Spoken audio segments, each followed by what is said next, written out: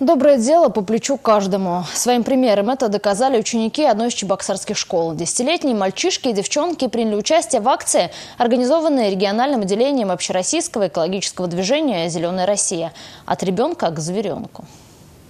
Школа номер 61 первая в городе, где прошла подобная благотворительная акция. Задача перед четвероклассниками стояла довольно простая – собрать и принести старые журналы, бумагу, газету, картон – все то, что называется макулатурой. Затем сдать все это на переработку, получить деньги, а на полученную сумму купить корм для бездомных животных. К акции, видимо, вспомнив советское время и свою молодость, когда макулатуру собирали практически на всех предприятиях, организациях и учебных заведениях, с азартом подключились и взрослые. Артем Игнатьев вместе со своей мамой сумели собрать и привезти в школу почти 100 килограмм бумажно-картонных отходов. И мы ходили к соседям, к родственникам.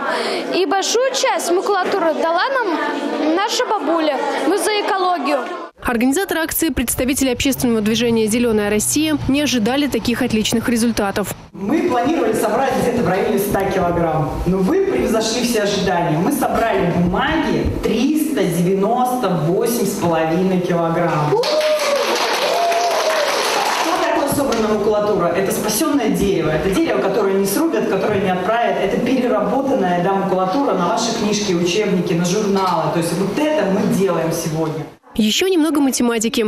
400 килограмм макулатуры – это 7 спасенных деревьев или 10 500 школьных тетрадок или 1700 рублей. К слову, именно на эту сумму ребята и купили корм для бездомных собак. Мы маленькие, зарабатывать не можем, но, но мы можем сдавать макулатуру и получать деньги, и отправлять это в пункт передержки. Для меня это был, был основным стимулом э, помощи животным. Помогать животным ребята отправились в тот же день в центр передержки. Сейчас там живут почти 100 собак разных пород и мастей. Все они нуждаются в заботе и ласке.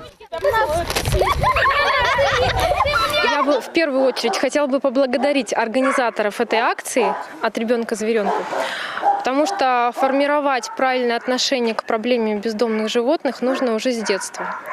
Дети должны э, с детства знать, что бездомные животные на улицах – это не норма.